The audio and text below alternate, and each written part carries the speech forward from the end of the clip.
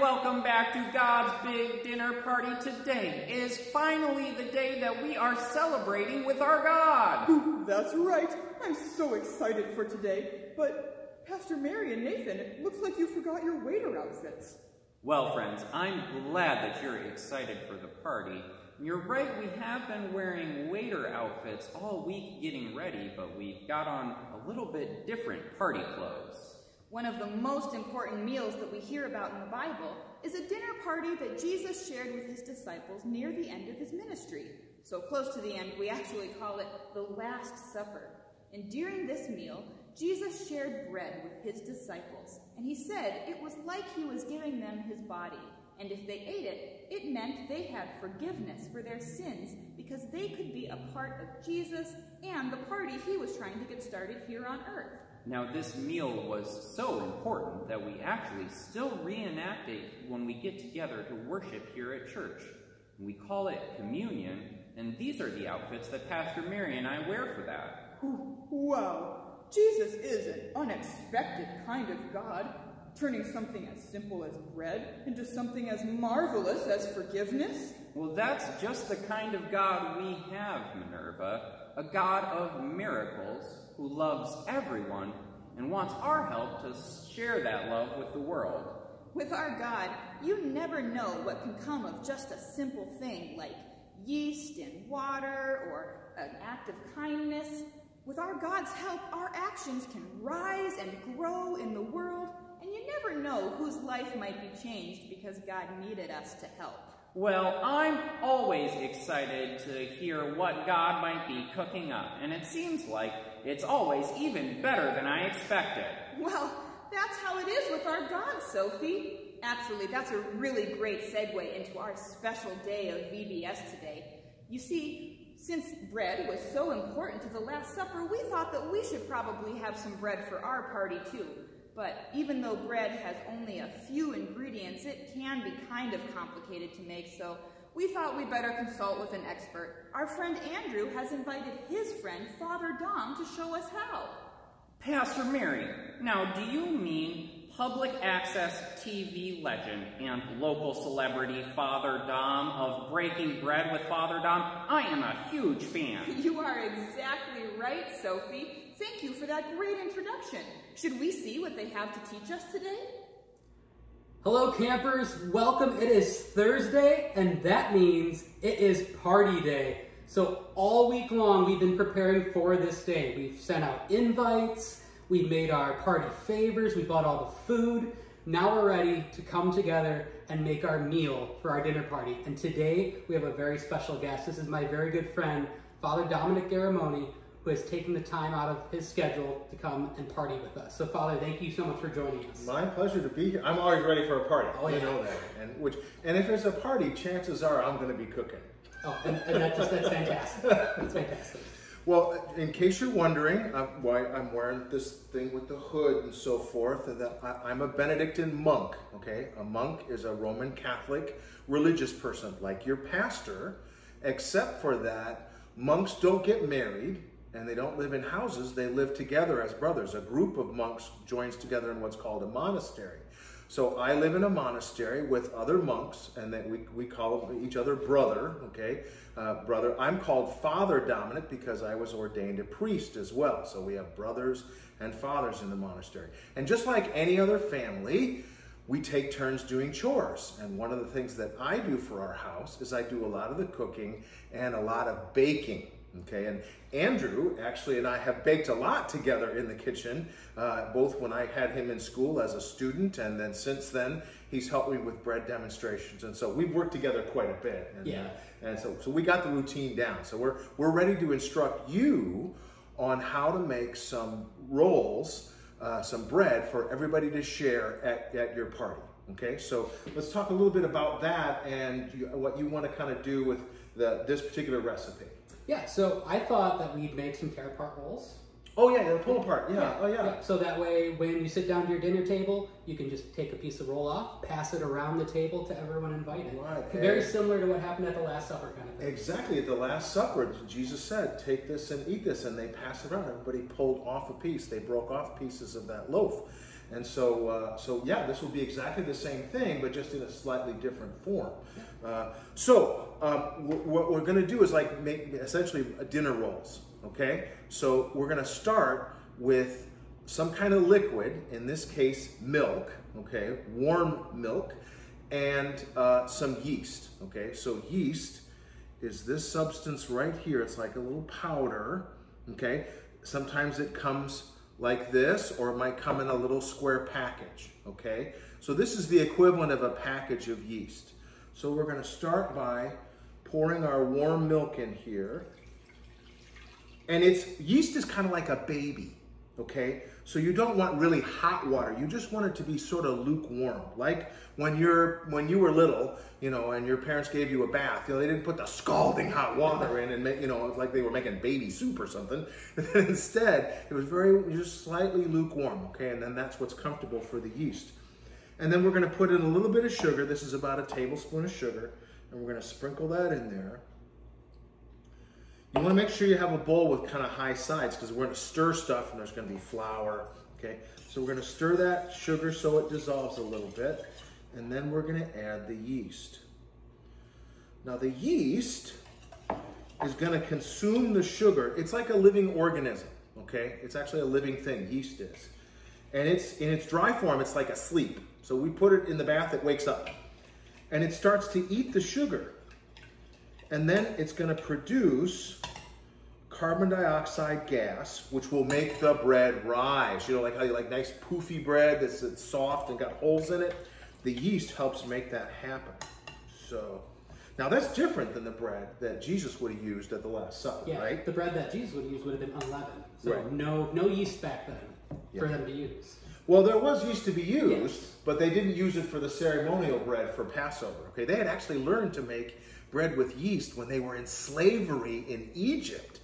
And so at Passover, they ate unleavened bread as a reminder when they weren't slaves, okay? Because God was going to free them from the Egyptians and set them uh, loose so that they could go to the promised land. So that for them, unleavened bread was the bread of freedom. So, in the same way, we use unleavened bread. Uh, Jesus used unleavened bread at the Last Supper because he was going to free everybody from our sins. And so, that again was the bread of freedom. So, we're going to stir this until it's completely dissolved, and then we just got to let it sit for a little while while the yeast wakes up and starts to bubble. Okay? So, we're just going to let that sit for a bit. Now, if you uh, can't eat milk, okay, because you have an allergy, you can use other kinds of milk like oat milk and so forth, uh, or you can just use warm water, will work just fine.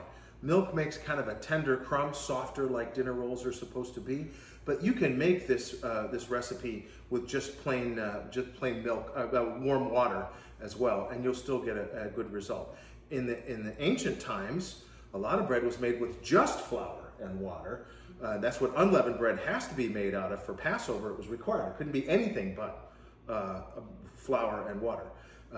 But uh, since then, we've learned to kind of add all kinds of things to make bread flavorful. You Yeah. know, so, but for right now, we're just gonna let that sit for a little bit and let it uh, warm up. Now I have a question for Okay. our friends that might have gluten issues. Is Okay. there a type of flour that you suggest for them to use Well, this case? this particular recipe will not work as a gluten-free recipe unless you've got that really special blend that's like they call it one to one. Yeah. So, and if you're if you're gluten intolerant or somebody has a gluten allergy in your family, your parents probably already know all about that. Okay, maybe you do already. Okay, uh, so uh, a lot of those, but it has to be a one to one.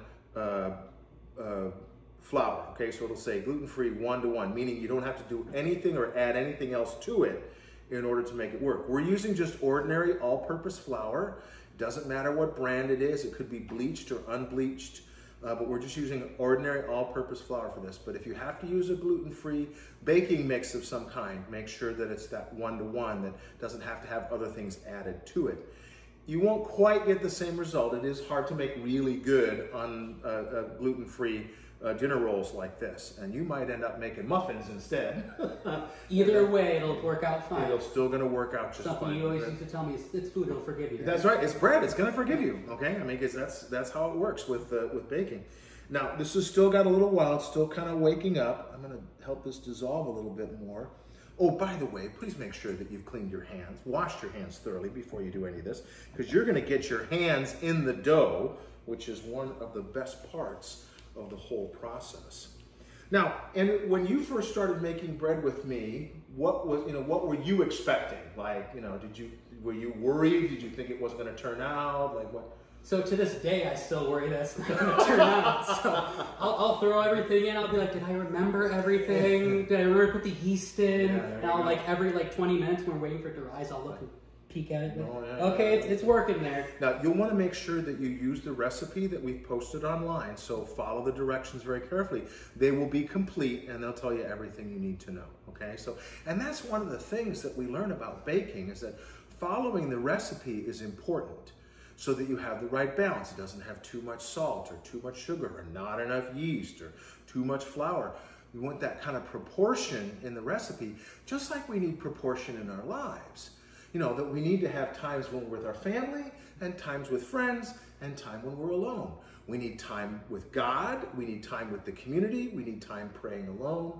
We need time spending with the scriptures, time reading other things, time to play sports.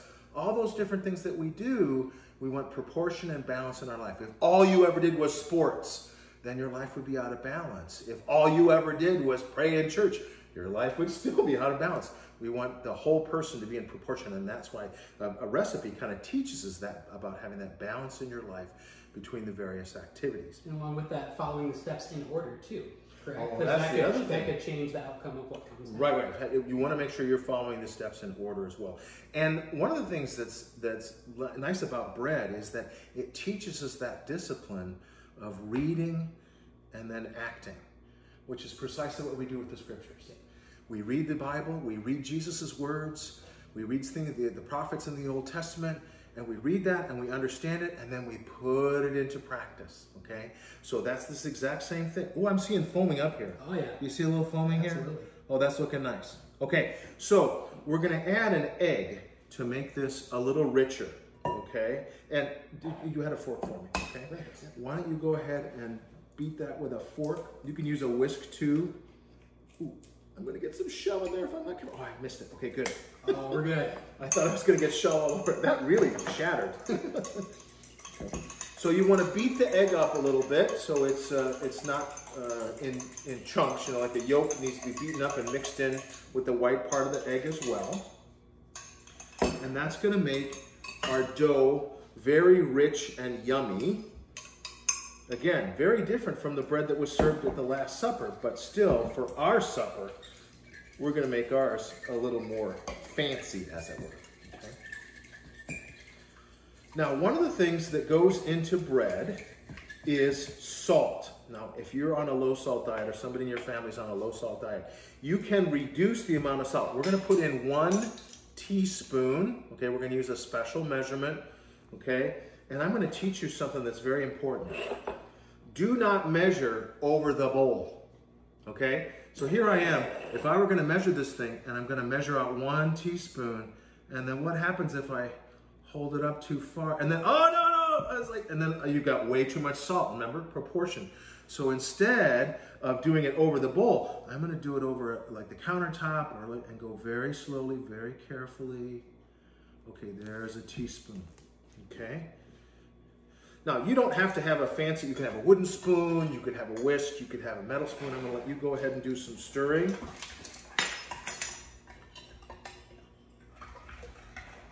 We're gonna put that aside because we don't want to put any more salt in. And then I have two tablespoons of melted butter. Again, gonna make it richer and a more tender crumb. These are gonna be soft dinner rolls. Okay, so go ahead and keep stirring that in as well. Clear this stuff away. Haven't lost your touch, I see. No, no, but I still make bread uh, on a regular basis at home. Good. That's excellent. All right, and then we're ready to add our flour. Okay. Now, don't look at the recipe and say, "Oh, two and a half cups of flour." Okay, you you add a little bit at a time. Okay. So I'm going to measure out one cup. Okay, and then while he's stirring, this is something you can do with your parents or with your brothers and sisters. While he's stirring, I am going to shake this in so it gets stirred in gradually, and there won't be clumps. You don't want the dry clumps of flour in there, so there you go. And then before I add any more, we're gonna make sure that gets beaten completely smooth, okay? I remember the first time Andrew and I were in the kitchen together, and as I recall, he set a knife down.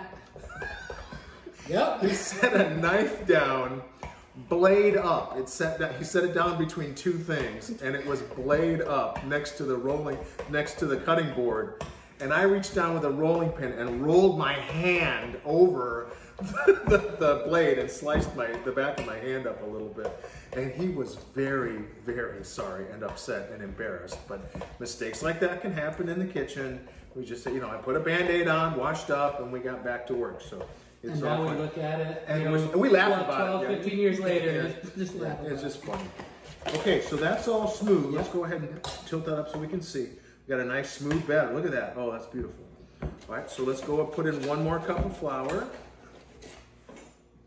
Again, we're gonna go kind of slow, adding a little at a time. That's the nice thing about baking. You can do it by yourself, but it is fun to do it with somebody else. Absolutely. That's true of a lot of things. I mean, sometimes it's nice to read a book by yourself, and sometimes it's nice to read a book aloud to your younger brother or your little sister or a group of people. So, and you know, it's always nice when your parents read to you. That's a lovely thing too. You're doing great, Andrew. Making giant strides. This would be a little bit of a workout on your arm. Right? Yeah, yeah, you get forearms like Popeye, That's let me tell you. That's good for you.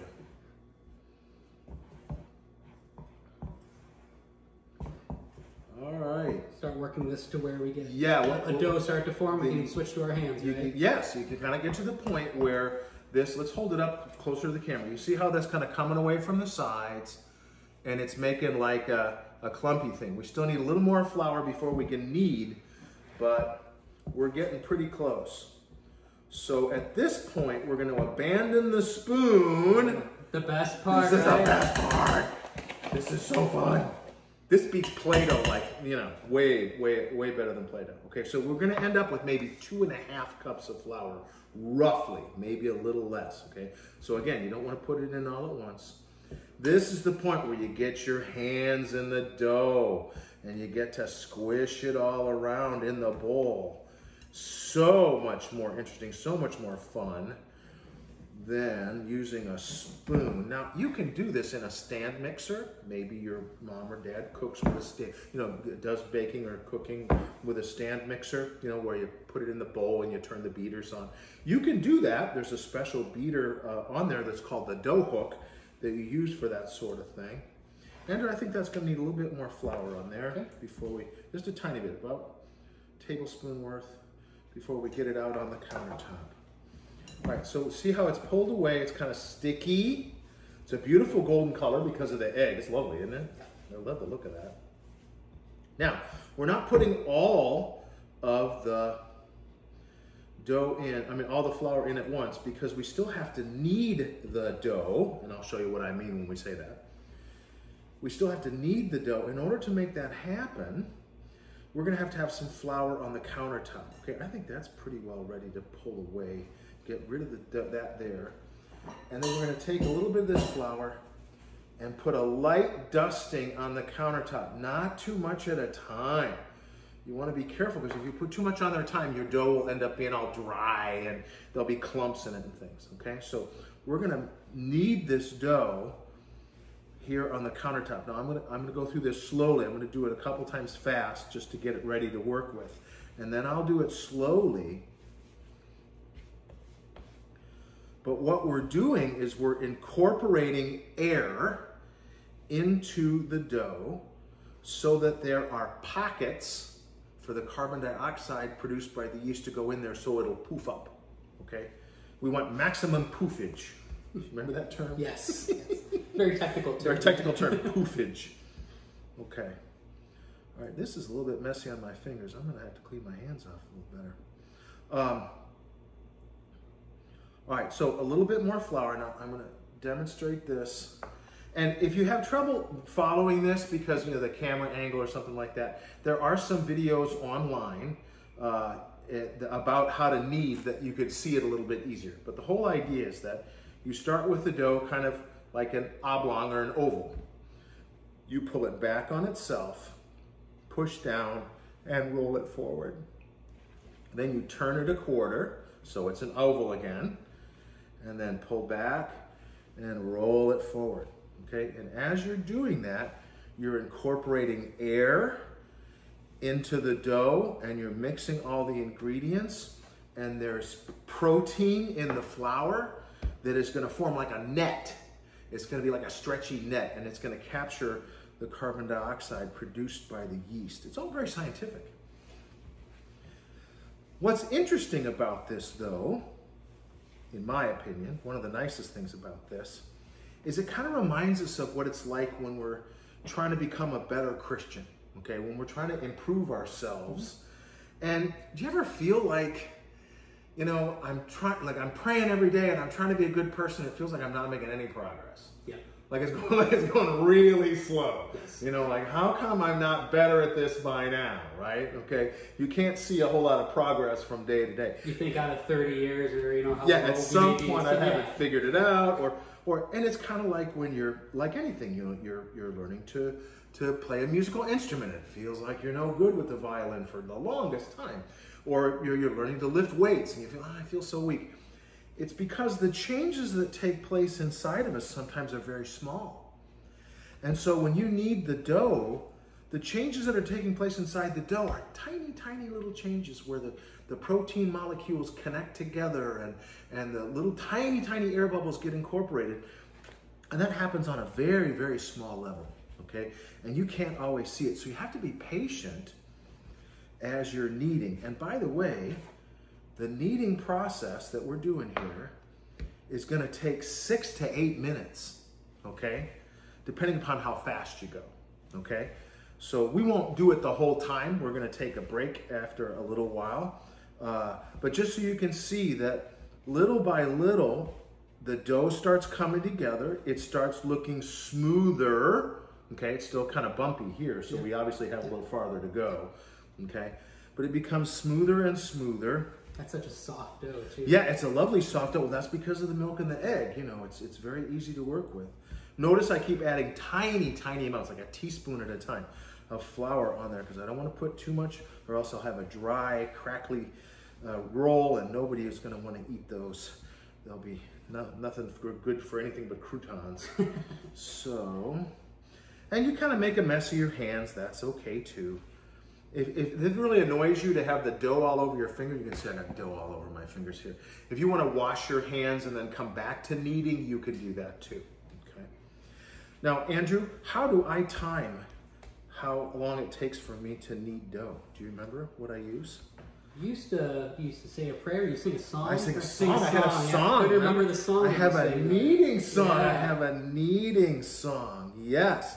Okay. So my Irish ancestors, whenever they had to do any kind of repetitive job, they had a song. So there was a song for sweeping out the hearth, and there was a song for harvesting the grain and milking the cows. They would sing these little repetitive songs. So I thought, well, obviously I need a song for when I'm kneading dough.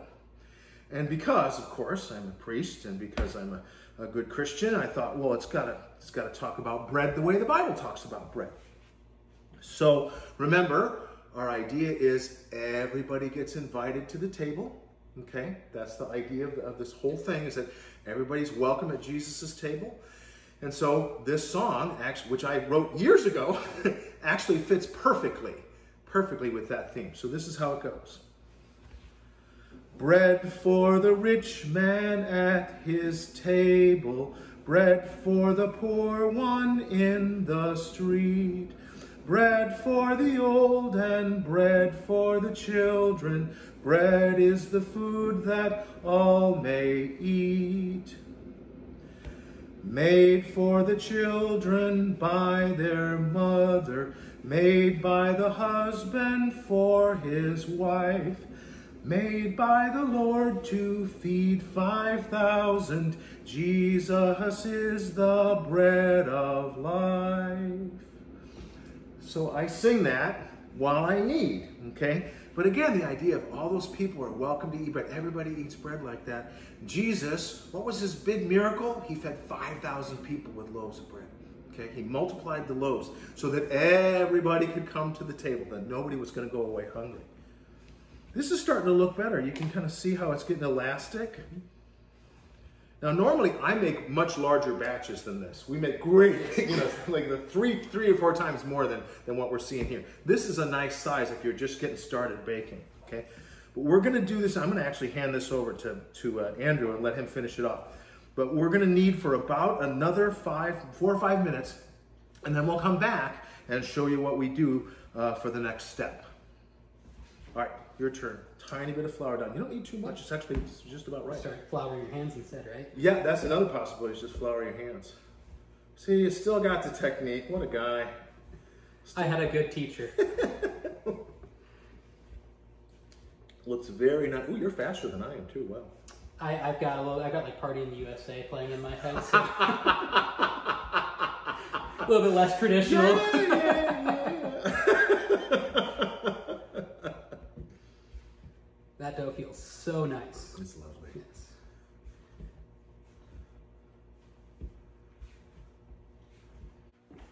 It's starting to feel really Does it feel right? It looks gorgeous. Okay.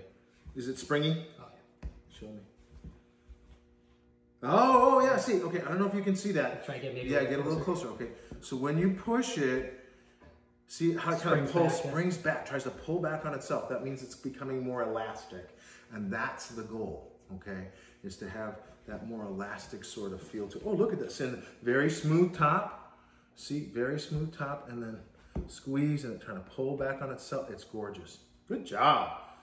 Good partnership, man. That's right. Rock on with your bad self. Okay, so we're gonna take our rinsed out bowl, okay, and then we're gonna get a little bit of spray, okay, and spray the inside of that, and then lay our warm dough in there, still warm from the milk, okay, and from the kneading, okay? And then we're gonna let it take a nap, okay?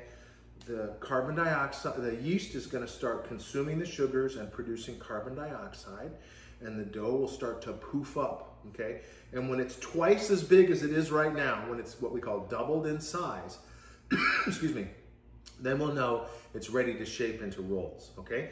So we're gonna set that right there so you can see it. And then let's get a cover on it because you know, when you take a nap, you want a little blankie on you, okay? So we're gonna let that sleep for an hour until it's doubled in size. And then when we come back, we'll punch the dough down and then we'll shape it and we'll show you what the next steps are, okay? We gotta clean this counter too. Yeah, yeah. Okay, let's get to work. All right, Andrew, would you like to do the unveiling? I would love We're to. We're going to see. This should be doubled in volume. It should be twice as big. It's been an hour. Here we go. Oh, wow. Look at that. Oh, no. Oh, oh you're going to pull it back. Yeah, hold it up. It. Look at that. Look at that. Do you see how much larger it got? That's great. Remember that little tiny lump we had in the middle, and now it's got all poofed up like this. Beautiful. Okay. Now, this is filled with really large air bubbles, and the yeast needs to be kind of mixed up a little bit more, okay? Because it's kind of it's kind of tired out, okay, from rising. And we want to make it so that it's going to rise one more time. And so to do that, we kind of have to punch the dough down a little bit, or at least deflate it, okay? So, uh, and how do you know that this is sufficiently risen? You put your finger in the middle, and the hole stays. See? The hole doesn't close back up again. That means that it's risen as much as it's supposed to. It's actually just deflating slightly, perfectly risen, exactly right, one hour. Okay, so we're going to put our fist into this and deflate it. And sometimes that happens to us in life too. You know, we get risen up and then we kind of get punched down by something. You know, we get sick or we, you know, we fail at something in sports or we, you know, bomb a test at school or whatever. That's all part of the process of, you know, growing and becoming the person that God wants you to be. So we put that to one side. So that when you get punched down by life, that sometimes that's part of what it means to grow, and you've got to come back. We're going to knead this dough just a little bit so that we can get rid of the larger air bubbles. And then we're going to shape it into the rolls that can be pulled apart so everyone will get one, okay? So we're going to make this easy. We're going to make eight uh, pieces because it's easy to divide things in half and in half and in half and then you'll get eight, okay? So the easiest way to do this, I think, okay, is to roll it out into a tube, okay? So you kind of roll the dough out like this into this big fat tube. You can also form it into a circle and divide it, you know, that way, but I think this is a little easier. Okay, so you kind of roll it out and it's all the same length. And then you want to divide it into pieces. Now, don't use a sharp knife. I don't want you kids using a sharp knife. So you could use the end of a, a, a hard spatula or like a plastic knife like this that you use to cut um, lettuce, okay? And then that's safe, okay? Don't, you don't want to be using something sharp without your parents helping you. But I'm simply going to divide this into pieces. And we're going to start, we're divided in half. And we have two pieces. And we're going to divide, I'll let you have one. And then we're going to divide the halves again and we're going to get four pieces. This one is a little bit, that one on the end is a little light. I'm going to add a little more to that. There we go. You can kind of feel it. Okay? You feel it? Yep. Okay? And then one more time, and then we'll have eight. Okay?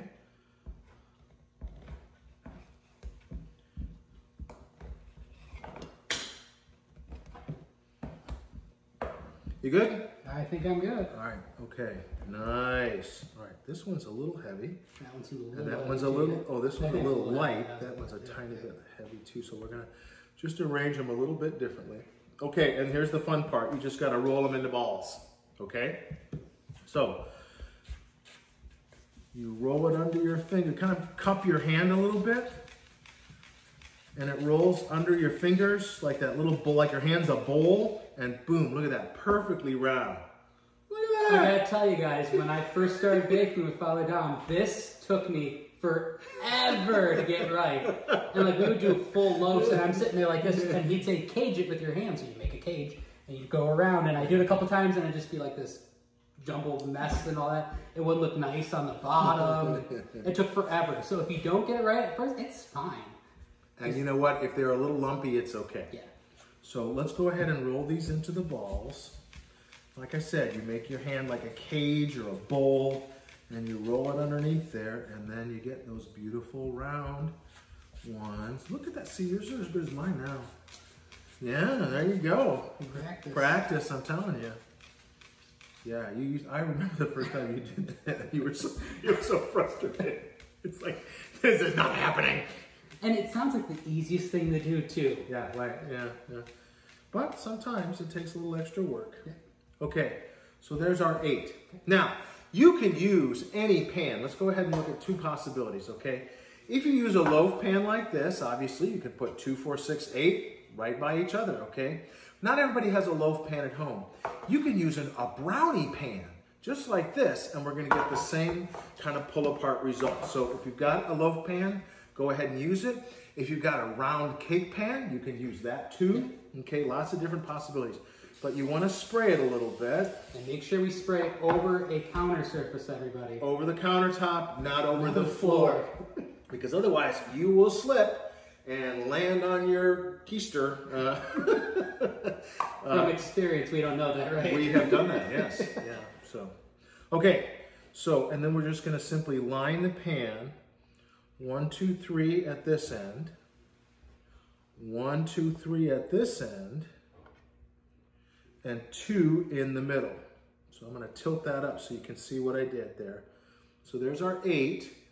It's kind of sliding forward, but we'll put it back into position. Okay, so one, two, three, two, one, two, three. But we want them evenly spaced in the pan. Because just like the dough rose the first time, it's going to rise again. Okay, so it'll get a second rise and then it will fill this pan. You will be amazed. Again, it'll be poofed, but it will not take a whole hour. This time it's probably only going to take about a half an hour. Okay, so in the meantime, go ahead and let's give that cover that up so we can get it nap. In fact, I'm going to spray the top so they don't dry out. That's another thing I like it better. If You spray the top little bit so it doesn't dry out. You want to put it someplace where it's, you know, nicely warm, just room temperature, not someplace too cold or too hot, okay? In the meantime, though, because in a half an hour we're going to put these in the oven, you're going to need to set your oven. But you know what? I'm not going to tell you what that temperature is, okay? Because we want you to get used to the idea. What do you do? We read the instructions and then We put it into practice. We act on it. We read the instructions, we put it into practice, we act on it. Just like when we read God's word, we read the scriptures, we put them into practice, same thing. So while these are rising, you go check your recipe, see what temperature you need to set the, the oven on. Go ahead and set it to that temperature. And in half an hour, we'll take a look at these and you'll see how much they're risen and they'll be ready to go in the oven. All right, so you're ready for another unveiling? I'm ready. Okay, do the honors. Look at the poofage there. That's beautiful. See, remember how they slid down because there was all that extra room? Now they've poofed up, okay? And so after we bake these, they'll pull apart, okay? We'll have these beautiful rolls that'll be stuck together because they bake in the oven together, but then they're gonna also pull apart easy as we pass around. Everybody at the table being able to pull some uh, away. So And they're going to rise a little bit more in the oven too. yeah, they get something that's called oven spring. So they go in the oven and they get even bigger in the oven. Now, I'm sure you went and checked the instructions, so you know we're putting them in at 350 degrees, and it's going to go 20 to 25 minutes. Now, you might think, five minute range, why is that? Well, every oven bakes a little differently.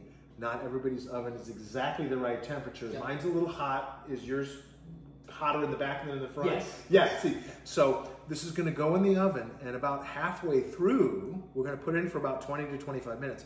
About halfway through, at about 10 minutes, maybe at 15, I'm gonna turn the pan around in case the oven bakes uh, hotter in the front or the back or whatever. You wanna make it so it bakes evenly, so you've got evenly baked all the way around, okay? But these are exactly right. They're just exactly what we want. Go in the oven, 350 degrees, 20 to 25 minutes. When we pull them out, you will be amazed at how beautiful they are. And the kitchen is gonna smell awesome. You at home are gonna be so happy when you make these because they're gonna smell great. Okay, so into the oven, 350, 20 to 25 minutes. All right, how's it look? It looks beautiful, and they are ready. Come Oh, of the let me see. Whoa. Oh, you're right. Oh, look at those beauties. Wow. Holy smokes. Oh my God. Tilt it up a little closer, a little higher. I'm sorry. You're good. I don't Look have the hands like you. Yeah, you don't have the hot hands. I got the asbestos hands. Look at how beautiful those turn. Oh my gosh. Oh, they're just slightly crusty on the outside, but they're really tender in the middle. You can tell they're really soft. See, and as you can see, when you pass those around, everybody gets to pull one off. Okay, don't don't separate them. Leave them close together like this. Now you're going to let them cool in the pan for about five or ten minutes, and then you can kind of tip them out and then leave them to cool either on a wire rack or on a, a cloth towel. Don't let them cool just on a countertop because they'll get soggy on the bottom because they're still letting loose some of their moisture. They're actually still baking as it's going on right now. So even though it's tempting to rip them apart and eat them right away, you got to give them at least a 15 minute rest. But these are going to be beautiful at the table. And as I said, it's so nice the idea that you can pass them around and everybody gets some. Everybody pulls off a piece. The idea of the inclusion at the table, that Jesus wants everybody at the table with him, no matter whether we're saints or sinners, whether we're young or old, you know, whether we know Jesus really well or we've just started in our faith journey. Jesus wants us at the table, all of us together. And that, that, that sense of acceptance and love is precisely what a loaf of bread like this is supposed to symbolize. So I hope that you've followed along and made this with us so that you can have that same kind of experience uh, in your family home as well. And, and you, you bake all the time for your family, right? absolutely. So, yeah, so it's it's uh, it's a kind of thing that once you get into it, you may find yourself doing a lot more. You start with dinner rolls, you'll find yourself graduating to tossing pizza dough. You know, so that Yes. it's very very high on my list. Just saying. Baby steps though, okay? Yeah, yeah. Otherwise we'll have, you know, go up on the ceiling. Yeah, you don't want to say turn off the ceiling fan. And, uh, all right, well, we're going to leave these here, but let's say a blessing over the bread and then also a blessing for all of us, okay? Let us remember we're in the holy presence of God.